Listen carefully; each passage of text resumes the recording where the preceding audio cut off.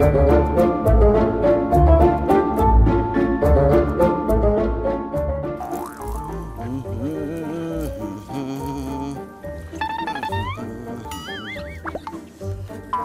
mandi. Biar ganteng. Assalamualaikum. Waalaikumsalam. Wah, Pak Jarlis. Di rumahnya masih banyak air. Wah, ini agak lihat loh tuh. Wah, iya. Airnya nyala. Soalnya di rumah yang lain itu airnya habis, Pak. Ya, gara-gara listrik mati seharian. Jadi pompanya nggak jalan. Ah, makanya dong pasang air ledeng kayak gua yang berbayar. Jadi kalau listriknya mati, tetap hidup tuh. Iya, iya, iya.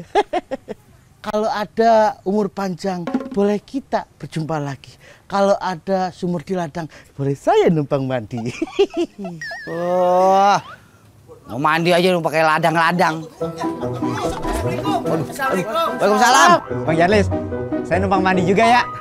Saya juga mau numpang mandi. Boleh kan? Waduh, ngapa semuanya jadi numpang mandi di kamar mandi saya sih? Bang, ini kan bulan puasa, Bang. Tuh. Harus banyak-banyak amal. Iya, emang nggak takut dosa? Oh iya iya iya. Boleh boleh. Tapi ada syaratnya. Satu orang harus dua gayung aja. Permisi, Pak. Ah, kita dibohongin, Nona. Eh, eh, tahu tahu. Eh, gua di- awasin nih mah. Eh, eh. Ah, ah, segini cukup. Ini kan jemputan gua udah ngebelin aja nih ojekan gua. eh, bapak-bapak, tunggu ya. Airnya belum penuh. Kecil banget itu. Mau kapan penuhnya kalau ngelipit kayak begitu? Ah, Ah, tunggu aja dong. Apa sih abang? lah antri. Ini aja pada ngantri ah. Ih, siapa yang main mandi? Main bikin konten biar mukanya perkelatan nih. Nih. Aduh, apaan sih ah? Ibu harus antri.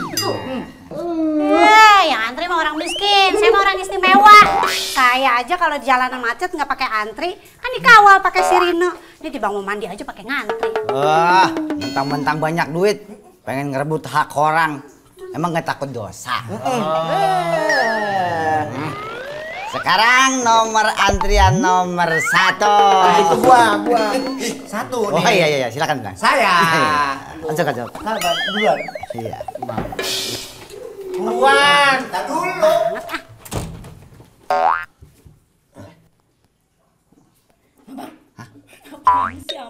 Eh, kan jatahnya seorang dan dua gayung. Aduh, aduh, aduh. Eh, Mat. Lu suara gayungnya kelebihan itu ada tiga. Ya, lu curang lo. Cuma dua doang juga.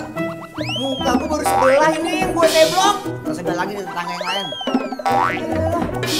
Baru muka doang.